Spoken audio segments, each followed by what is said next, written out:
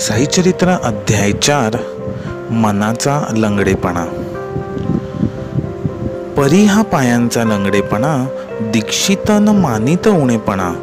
खरा लंगडेपणा तो मना घालवा म्हणाले साईस. अध्याय चार ओवी एकशे पंचावन्न. मानवाचे मन हे सतत कुठल्या ना कुठल्या विचारांनी ग्रासलेले असते. आज एक तर उद्या दुसरे.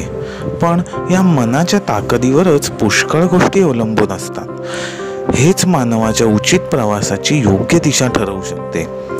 पण हे मन खूपच दुबळे असते लंगडे असते. कलियुगामध्ये तर हे मन मजबूत बनवणे हे खूपच गरजेचे असते. आणि म्हणूनच हा बापू मनसामर्थ्य दाता आहे. हा बापू मनसामर्थ्य प्रदान करायला आला आहे. हाच मनाचे नमः करून आपला उचित प्रवास करू शकतो. ग्रेट.